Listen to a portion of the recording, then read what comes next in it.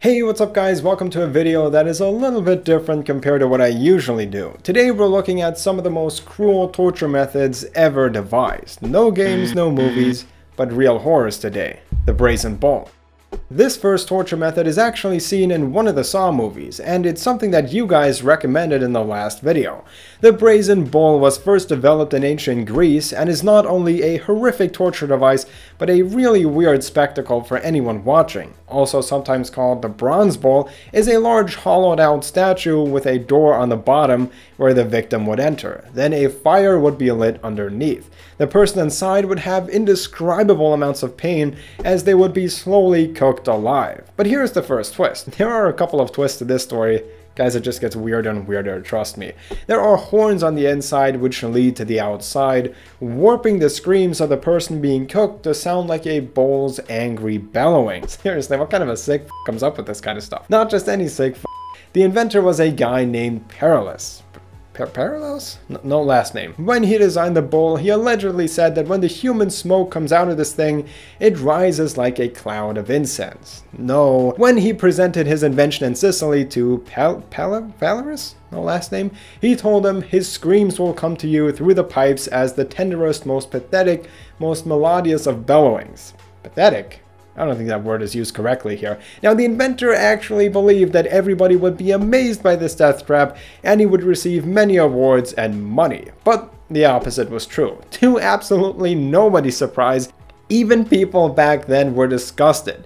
To test out the invention, Phalaris told Paralis, the maker, to get inside. Once he entered, they locked the door on him and started lighting a fire underneath, leading to horrific screams emerging from the bowl. But before he could die, they took him out and threw him off a cliff. They spared him just so they could kill him in a more humane way, as any good leader would, the Judas Cradle. This one is more than a little bit odd. In medieval Europe, there were quite a few new inventions which blew people away. For the first time, there were compasses, clocks, windmills, and torture methods which still shock people to this day. This is one of them. The Judas cradle is a metallic or wooden pyramid invented in 16th century Spain. It was designed to make the process of dying extremely painful and lengthy so you would have enough time to extract information from the person being tortured. So this pyramid is inserted in your I mean, it's inserted in your pooper. Don't even ask where they put this thing if you're a woman. Your own weight would slowly push you down lower and lower over the next few days, which resulted in extreme pain. How is this any different than doing anal? If that wasn't enough, weights would be added to push you down even further. If you refused to give up the needed information, some dude would raise you up and drop you down to their heart's content, or shake you around, making the experience even more painful often resulting in death by impalement. Now some people would survive this torture method, but not for long as they would die by infection a few days later at best. The iron chair. If you think your crappy office chair is uncomfortable, think again. The iron chair or Chinese torture chair is covered in metal spikes. This device was also developed in medieval Europe. The person unfortunate enough to be subjected to this torture method would be seated on here and the spikes would slowly drive into their skin. There are cuffs and different bars restraining your chest, legs and arms so that there is no way for you to escape.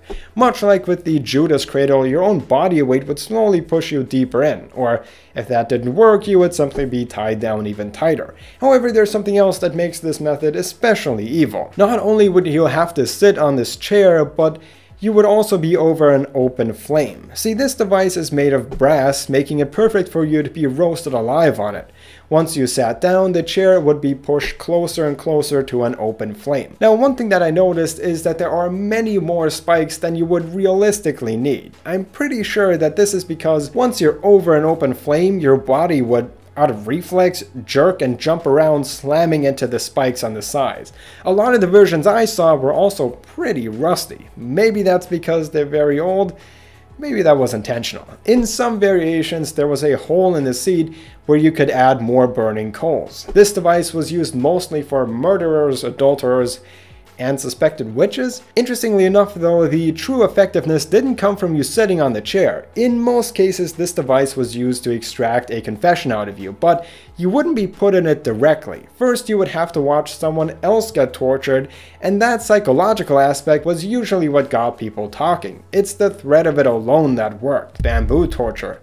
For this one, we're moving away from the European methods and more in the directions of Asia. Bamboo torture was commonly used in China, Japan, and India throughout the 19th century, which, if you think about it, isn't even that long ago. This torture method relies on the growth of live plants, more specifically bamboo. That's because Bamboo is one of the fastest growing plants on the planet. It can rise up to 35 inches a day, which is just about one and a half inches an hour. After World War II, some Allied prisoners of war would be subjected to this punishment in Japan. First, the victim would be tied very securely over a bamboo shoot, and then the very sharp plant would, over the next few days, very aggressively grow through the flesh and come out on the other side. Now there's one thing to be said about this, there is not that much evidence that proves this method was actually used and historical accounts strongly vary. However, there are several documents from that time period which mention bamboo torture. Also, its feasibility alone was proven on the TV show Mythbusters, where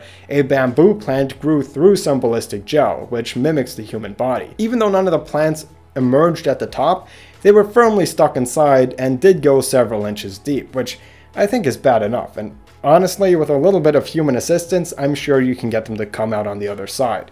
The issue is that to penetrate the entire torso, bamboo would not only need to grow quickly, but also with a lot of upward force, which it has to some degree, but it's not like it can't be stopped. That's also why it took a few days for it to just grow halfway into the body. Water torture.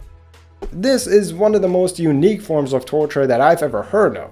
Unlike all the other methods that we've had up to now, this is more of a psychological punishment. It goes like this. A person's head is fixed in a position and then slowly drips of cold water are dropped on the scalp. I remember hearing about this in elementary school and some guy convinced me that it can actually carve a hole in your head. That is total nonsense, but a prolonged exposure to this process can cause severe mental deterioration. And the reason why is quite interesting. The idea came from a lawyer who observed that over time, water dripping on a stone would create a hole in it. The people subjected to this torture method often knew this, and because of the mysterious nature of this idea, they would be driven insane by the belief that a small hole is being hollowed out in their skull. Of course, now we know this doesn't work, but honestly, I don't doubt that this was some extremely effective mental torment back in the day. It's not exactly clear if this really originates from China or if that's just the name given to this process to make it sound more mysterious. I'll refer to Mythbusters once again because they dedicated an episode to this and the results were very interesting. They built a setup where for several hours someone could have water dripped on their head. Originally when they tried it out, it was very effective but mostly because you had your head locked in place. That was the worst part of it. But then the crew received a mysterious anonymous email stating that the mistake they made was using a constantly dripping source of water. What this person allegedly found much more effective during his own experimentation was that you need to randomize when the drops fall down, and that the anticipation makes it far worse. And he was right. What's so strange about this email is that the person wrote that this was according to his experience. Was this just a cruel joke, or did it really come from a person who did this to people? Rat torture. I'm sure many of you know this one, maybe you've even used it yourself. I hope not. Rat torture is the process of encouraging vermin to attack the victim. This particular method was allegedly used in the Tower of London. There are several different approaches to rat torture. One of the most common is to have a couple of rats in a pottery bowl and place them on the prisoner's abdomen. A hot piece of charcoal would be placed on top of the pot, and the rats, desperate to escape the heat, would gnaw into the bowels. And as primitive as this seems, it was used in Brazil during a military dictatorship between 1964 and 1985, and even in Chile up to 1990. This isn't some ancient technique, it was basically used like last week. It was a quite versatile form of torture as it could be used in many different ways. Sometimes you just needed to leave the dude's arm exposed through some type of hole, and apparently rats would start eating it while you're still alive. This is especially gross because rats are just so foul. I know I've seen Ratatouille and they can seem nice, but seriously, this is like the, one of the most rank animals out there. They're dirty, they carry diseases like salmonella, they hang out in the sewer and in the garbage and in those restaurants from Kitchen Nightmares. Then that filthy thing starts crawling around in your festering wound, the rack. As some of you know, I recently covered Outlast 2, and this torture method appears in the game. There's also a version of it in the Saw movies, but it's a little different. As it turns out, it's inspired by real life. The rack, much like the brazen bull, was invented in ancient Greece. It consists of some kind of board and a roller with a ratchet mechanism, allowing for movement in one direction but not the other. The victim would be fixed to the board and their ankles would be tied to a rope, which was fixed to the roller. Very slowly the roller was moved further away from the prisoner, causing extreme stretching on the shoulders, hips, knees, and elbows. This causes excruciating pain, obviously, and eventually all the joints would in your body would just pop out. At this point, if you would continue stretching, they would be completely separated, leaving only the connective muscles between them. However, if you would still continue stretching it, the muscles would stop functioning and would no longer expand or contract properly, and probably eventually rip. It doesn't say that in the source, but I mean, I think that's a safe assumption.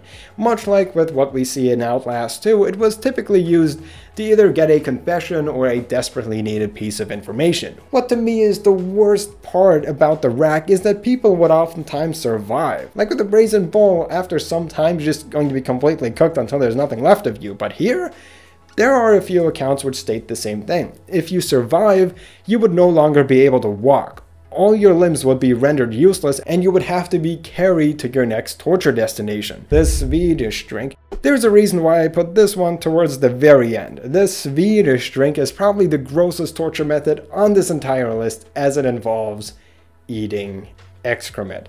Also sometimes called the Swedish recipe, it was used frequently between 1618 and 1648. At first I thought it was made by the Germans, which I would have believed because everyone knows they're perverts, but German people in this case were more often than not the victims. During the Thirty Years' War, it was used on peasants and civilians to hand over money, food, animals, and women? Am I reading this right? It was sort of a method of force feeding where a wooden wedge was inserted into the mouth to keep it open, and then an entire bucket full of foul liquid was poured into the stomach using a large funnel. The victims were often restrained so they couldn't fight back, and the liquids were sometimes heated to a boiling temperature. I mean, even though that must hurt even more, doesn't that kill some of the bacteria? Either way, it sounds like it sucks. Maybe you can get it at IKEA. This would often result in illness and infection. No shit. Not only was this really disgusting for obvious reasons, but also the sheer amount, like the volume of liquid, was typically so much that it caused intense gastric pain as your organs would have to drastically expand. So those were some of the most evil torture methods. In case I missed your favorite technique, let me know which ones you would have included. I know this was a very different video from what I usually do, but I like experimenting with different things. As always, I hope you liked it. If you did, smash like, smash subscribe, and I'll see you guys in the next video. Bye guys.